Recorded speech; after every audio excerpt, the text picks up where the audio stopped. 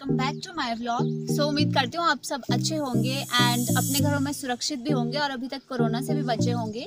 तो आज मौसम काफ़ी अच्छा है एंड हम लोग आए हैं खेत की ओर बिकॉज़ हमें लगानी थी पत्ता गोभी की नर्सरी तो आज हम पत्ता गोभी की नर्सरी लगाने आए हैं। तो अभी खेत पहुँचे ही है जस्ट तो अभी देखते हैं हम लोग पहले तो यहाँ पे खेत साफ़ करना पड़ेगा हमें क्योंकि खेत में थोड़ा बहुत लहसुन लगा था तो उसके बाद हमने वो निकाल दिया था लहसुन। तो थोड़ा बहुत ये देख सकते हो आप लोग इधर पड़ा भी है। तो उस लहसुन को, इस लहसुन को उखाड़ के हमें खेत साफ़ करना है पहले। तो फिर देखते हैं क्या होता है नर्सरी कैसे लगाते हैं तो मैं आपको बताती हूँ। तो बने रहिएगा मेरे साथ। फ़िलहाल हम लोग गोबर डालेंगे इसमें। तो गोबर देख लीजिए आप कितना अच्छा गोबर है, बिल्कुल बारीक बारीक है। तो हम इसे मिट्टी मिलाएँगे पूरी तरह से, ताकि ये मिट्टी में मिक्स हो जाए एंड जो हमारे पौधे लगेंगे वो भी काफ़ी अच्छे लगेंगे। मतलब वो अच्छे से ग्रो करेगी गोबर में।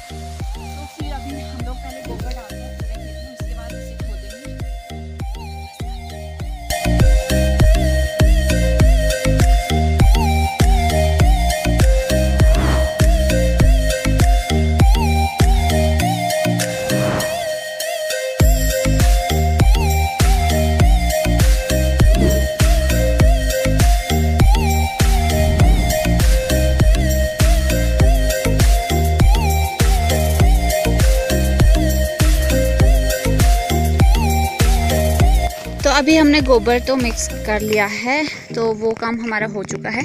एंड अब मैं आपको दिखाती हूँ हम कैसे इसके लिए जो बेड बनाने के लिए कहा था मैंने, कैसे वो बेड बनाते हैं। तो ये देख लीजिए आप लोग, कुछ इस तरह से बनते हैं।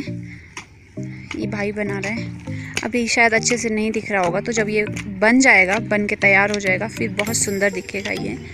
तो ये आप लोग देख सकते हो कितना अच्छा बन रहा है ये। बिल्कुल, मिट्टी बिल्कुल बारीक हो चुकी है एंड तो ये देख लीजिए आप लोग, नर्सरी लगाने से पहले कुछ इस तरह से इसके लिए मतलब बेड टाइप बनाना पड़ता है एकदम स्क्वायर की शेप का। तो ये हमने बना दिया है बट अभी एक ही बनाया है। तो हमने कितने बनाने हमने? तीन, चार। तो हमने अभी चार बनाने हैं मतलब इसके बाद तीन बनाने हैं। तो अभी हम इसे साफ़ करेंगे तो इसमें जो ये देख लीजिए आप लोग छोटे छोटे जो थोड़े बहुत पत्थर वगैरह हैं, इन्हें पूरी तरह से साफ़, साफ़ करना है हमें।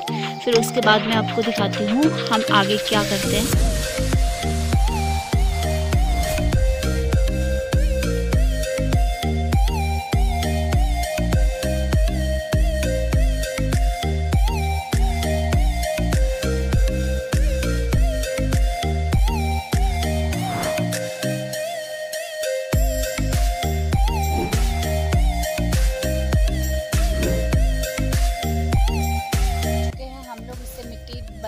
मतलब साफ़ कर चुके हैं। हम लोग पत्थर वगैरह उठा लिए हैं। तो अभी आई है बीज डालने की बारी।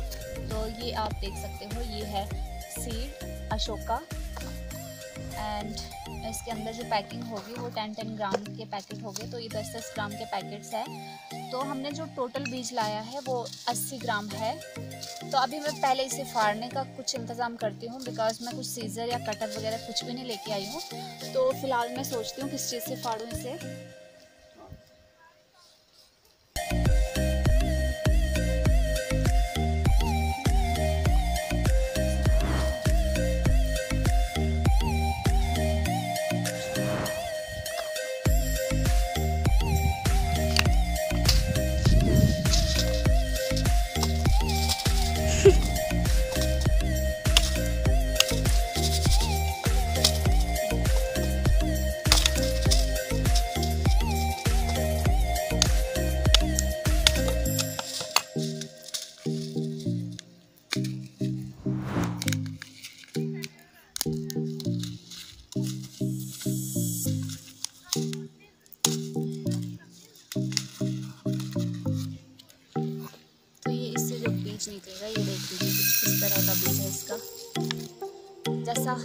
जैसे मतलब सरसों का बीज होता है, बिल्कुल उस तरह का बीज है।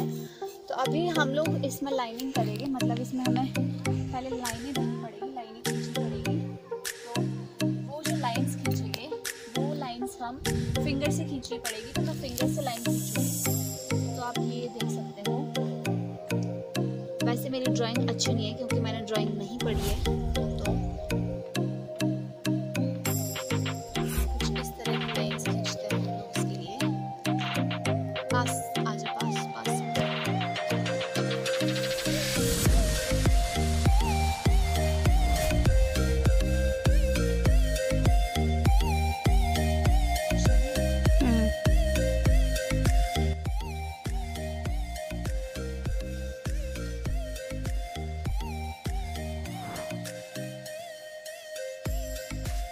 अभी पूरी लाइंस हो चुकी है कंप्लीट मतलब मैंने पूरी लाइंस दे तो दी है बट ये थोड़ी सी टेढ़ी मेढ़ी हुई है बट कोई बात नहीं। वैसे भी लगाना तो है तो अभी मैं डालूँगी ब्लीच तो मैं फ़र्स्ट टाइम लगा रही हूँ एक्चुअली मैं ब्लीच नहीं डालती थी पहले भी, घर वाले भी डालते थे तो आज पापा कहीं गए हैं, मम्मा घर गए हैं अभी पानी लाने, क्योंकि इसके बाद सिंचाई भी करनी है तो मुझे नहीं पता कैसे डाला जाता है तो मुझे नहीं डालना आ रहा है।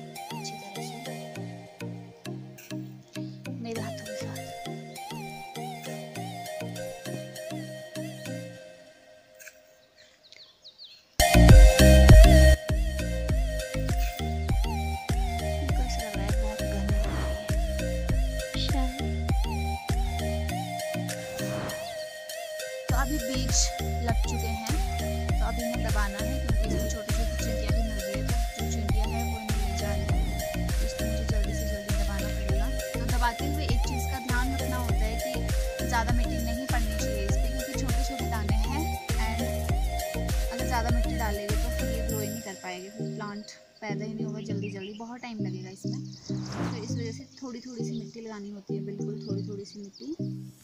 एंड जो छोटे बहुत, थोड़े बहुत पत्थर हैं, इसमें कंकड़ वगैरह है, वो भी उठाने पड़ते हैं। अच्छे से साफ़ करना पड़ता है ताकि जो छोटे छोटे प्लांट्स हैं, वो अच्छे से ग्रो करें। मतलब उन्हें कोई प्रॉब्लम नहीं होनी चाहिए ग्रो करने के लिए। तो फिर बहुत ध्यान रखना होता है इस चीज़ का। तो अभी बहुत से बीज तो चींटियाँ भी उठा के ले जा रही है। तो देखते हैं क्या होता है, कितने बीज जमते हैं, कितने बीज नहीं जमते हैं।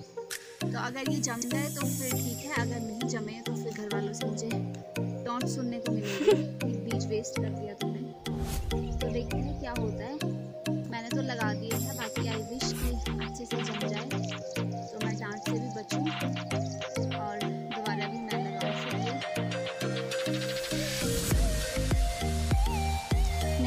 में काली मिट्टी लग है इस टाइम तो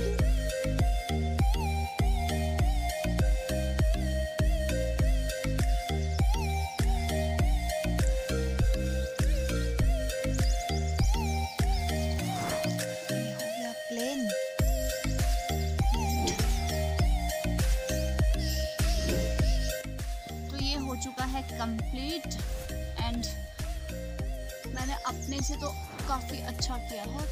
पता नहीं क्या होता है इसका। तो देखते हैं क्या होगा थोड़े टाइम के बाद। मतलब चार या पाँच दिन के बाद ये तैयार हो जाएगा। तैयार तो क्या इसमें अंकुर निकल जाएँगे एंड फिर देखते हैं इसका क्या होता है। तो चार पाँच दिन के बाद ही पता लग जाएगा कि ठीक लगी है या नहीं लगी। तो अगर ये अच्छे से जमती है तो मतलब ठीक है, अगर नहीं तो फिर इसका दोबारा से कुछ करना पड़ेगा। मतलब दोबारा से भी लगाना पड़ सकता है। बिकॉज़ चींटियाँ बहुत ज़्यादा है तो चींटियाँ हो सकता है सारे बीज खा जाए। तो देखते हैं क्या होता है। अभी बीज डाल चुके हैं हम लोग एंड अब बारी है इसे ढकने की। तो अभी इसे हमें ढकना पड़ेगा, ये सूखा घास है तो इस घास से हम इसे ढकेंगे। तो ये आप देख लीजिए किस तरह से ढकना होता है इसे। कुछ इस तरह से इसे ढकेंगे एंड थोड़ा सा खोल के लगाओ और खोल इसको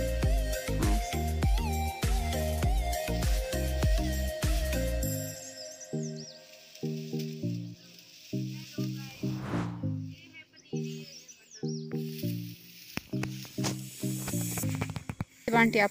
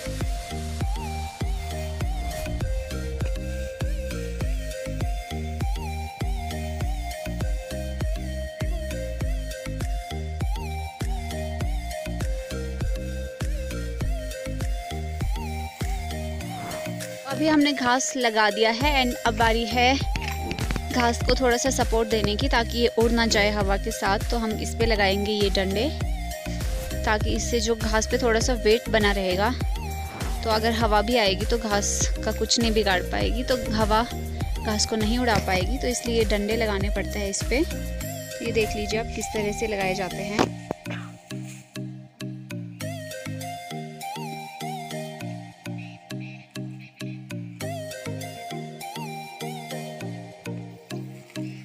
तो लकड़ी लगाने के बाद डालना पड़ता है इस पर थोड़ा सा पानी तो इसलिए हम पानी डाल रहे हैं ताकि जो बीज है वो उस पर उसके लिए नमी बनी रहे एंड उन्हें चीटियाँ भी फिर नहीं ले जा पाएगी तो इसलिए पानी डालना बहुत ज़रूरी है।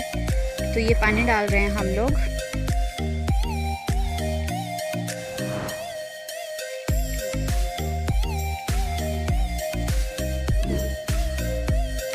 अभी हम लोग कर चुके हैं अपना काम पूरा। तो अभी हम चलते हैं घर की ओर। तो ये देख लीजिए आप हमने कंप्लीट कर दिए हैं। बीज भी लगाए एंड इस पर घास भी डाला, लकड़ियाँ भी लगाई एंड फिर लास्ट में पानी भी डाला। तो ऑलमोस्ट हमारा काम हो चुका है कंप्लीट तो ये था आज का ब्लॉग एंड आज के ब्लॉग में हमने नर्सरी कंप्लीट की लगा के। तो अब चार पाँच दिन के बाद देखते हैं कि इसका क्या होता है। मतलब जो अंकुर है वो निकलते हैं या नहीं निकलते। तो मिलते हैं चार पाँच दिन के बाद पार्ट टू के साथ। तो तब तक के लिए बने रहिएगा। एंड वीडियो को स्किप मत करना। पूरी वीडियो देखना, पूरी प्रोसेस देखना क्या होता है, कैसे करते हैं। तो आज के वीडियो में इतना ही। मिलते हैं नेक्स्ट वीडियो में। तब तक के लिए बाय बाय टेक केयर